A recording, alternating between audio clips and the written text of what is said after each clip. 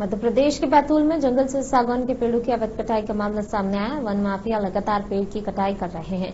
वहीं वन विभाग की सक्रियता गश्ती से काटे गए पेड़ों को लगातार पेड़ों को काटा जा रहा है और किसी प्रकार की कोई कार्रवाई नहीं की जा रही है।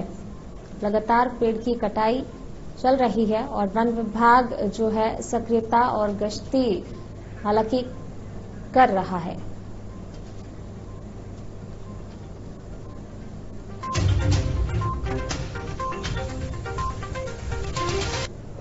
अट्ठाईस की वारदात है अट्ठाईस की रात की अट्ठाईस सितंबर। उस दिन लगभग पाँच पेड़ हमारे संज्ञान में आए हैं कि इसकी कटाई हुई है। लेकिन अच्छी बात यह है कि मौके से सारी लकड़ी में जब्त कर ली है हमने। सर क्या वहाँ पर रोड भी बना दी गई जंगल में और क्या कारण वहाँ पहले से एक सीपीटी थी। सीपीटी को उन्होंने भरा और अपनी वारदात को अंजाम दिया।